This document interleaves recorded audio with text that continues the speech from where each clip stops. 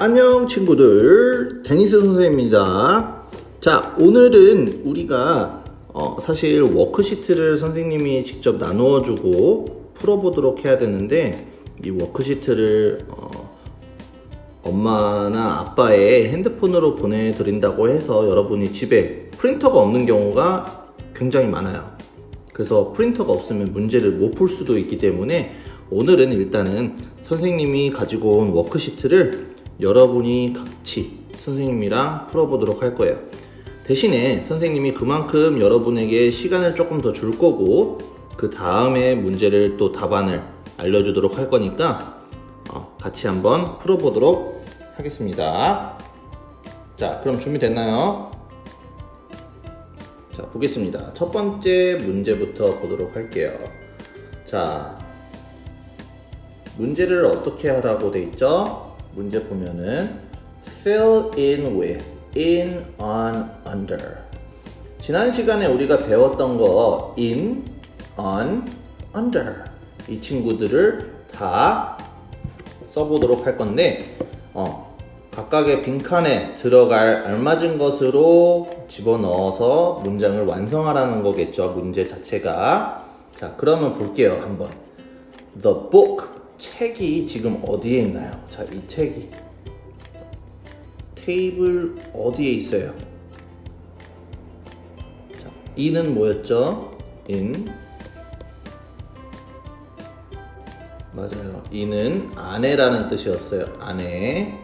자, 그럼 on. on은 뭐였죠? on은 위에. 그치. 자, 위에. 그 다음에 under. under는 무슨 뜻이었죠? under는 밑에. 그치.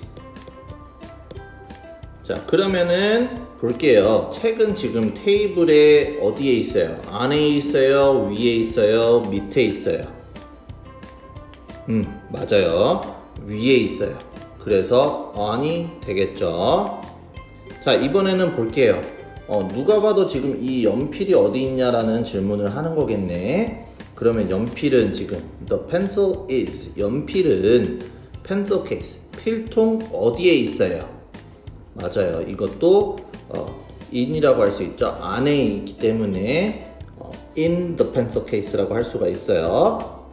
그 다음에 the duster. duster는 지금 여기 어, 칠판 지우개를 말하는 거겠죠. 자, the duster is chair, the chair. 의자 어디에 있어요? 자, 의자, 의자가 이렇게 여기 있네. 이 친구. 그쵸? 의자 밑에 있죠. 그래서 under 이렇게 쓸 수가 있겠습니다. 자, 그러면은 마찬가지로 the book 책 책은 어디 있어요? 의자 음, 의자 위에 있어요. on the chair 이라고 할 수가 있겠죠. 그 다음에 5번 볼게요. the globe 자 이런 거 글로브 이거 잘 못 볼 텐데 선생님은 학교 다니 미국에서 학교 다닐 때 교실마다 글로브 저 지구본이 항상 있었어요. 우리 요즘 학교에는 있나? 지구본 이렇게 있어가지고 자 그림을 참 못 그리지만 대략 이렇게 생겼어요. 그래서 이 지구 지구의 그 형태를 그려가지고 지도 세계 지도를 이렇게 해놨어요. 음, 어, 좀잘 그렸네 이거. 자, 그럼 볼게요. 지구본은 지금 어디 있나요? chair, 의자 위에 있네요. 어, 위에 거, 이 4번이랑 5번이랑 같은 문제네, 완전. 위에 있는 거, 똑같은 거네. 자, 그 다음에, the duster is. 자, 칠판 지우개는 어디에 있어요?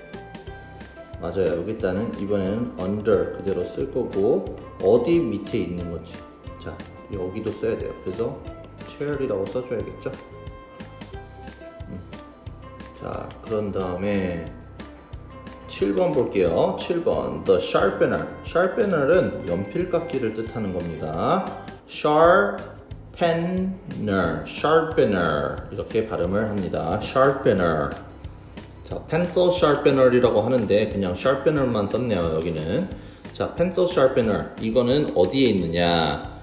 자, 이거 뭐라고 쓸까요? 자, 안에 있어요. 어디 안에? pencil case 안에. 그러면 in 그 다음에 pencil case라고 써주면 되는데 지난번에도 얘기했었지만 이 in과 pencil case 사이에 뭐를 붙여 뭐를 써야 된다고 했었죠? 여기에 다른 문제들에서도 해당되는 자 이렇게 the를 꼭 써줘야 돼요. the 자 그래서 the pencil sharpener is in the pencil case라고 답변을 할 수가 있겠습니다. 자 그러면은 여기까지는 어, 문제 없이 풀었을 거라고 생각을 하고 바로 이어서 밑에 문제를 한번 보도록 할게요. 자 이번에는 Where is the pencil case 해가지고 질문을 했고 여러분이 직접 문장을 아예 다 써야 돼요.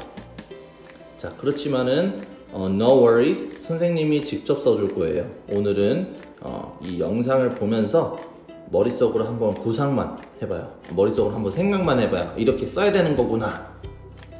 음, 여러분이 직접 소리내서 답을 말해보는 것도 좋긴 하지만은 그게 불가능하다면, 그게 어렵거나 하면 아, 집에서 머릿속으로 한번 생각을 해봐도 돼요. 자, 이번에는 볼게요. Where is the pencil case? 펜서 케이스는 어디 있어요? 연필, 아, 필통. 필통은 지금 테이블 위에 있네요. 그러면 필통 the pencil case is 자 어디에 있어요? 위에 있죠? on the 맞아요 table 이렇게 써주면 되겠습니다. 자 그럼 또 하나의 질문 Where is the pen? 자 pen 펜이 어떤 거지? 이건가 보다. 오케이.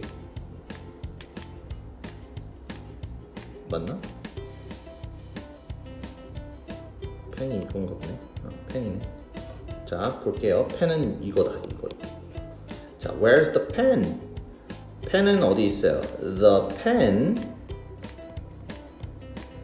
is in the bin. Bin 이거 알아요? bin은 우리 예전에 판스 때도 배웠지만은 쓰레기통이라는 뜻이에요. 음, bin 쓰레기통. 됐나요? 자 그러면은 Where is the sharpener? 연필깎이는 어디 있어요? 자 그러면 또 써줘야지. The sharpener is 테이블 밑에 있네요. is under the table. under the table. 이렇게 하면 되고 Where's the board marker? 보드 마커가 이, 이거네. 자, 이거라고 합시다. 자, 그러면은 the board marker is 어디 위에 있는 거지? 음, 맞아요. 의자 위에 있어요. 자, chair. chair 먼저 써주고 위에 있으니까 on. 그럼 그 사이에 the를 써주면 된다고 했어요. 자, 그 다음에 where is the paper bin? 어, 쓰레기통이 어디 있냐라는 건데 원래는 이제 의자 옆에 있다라는 표현을 써줘야 되는데 이건 아직 배우지 않았으니까 건너뛰도록 하겠습니다. 자, 그러면 마지막 where is the globe? 자, globe는 어디 있어요? 지구본은 어디 있나요? 자, the globe is 밑에 있으니까 어, under를 써주고 뭐 밑에 있는 거죠? 의자 밑에 있는 거죠? 자, chair 마침표 쓰고 그 중간에 the라는 친구를 써주면 되겠습니다. 자, 그래서 where is, where are 이런 이러한 질문들에 대한 답변을 해주는 연습을 한번 해보았고요. 그 다음 한번 보도록 하겠습니다.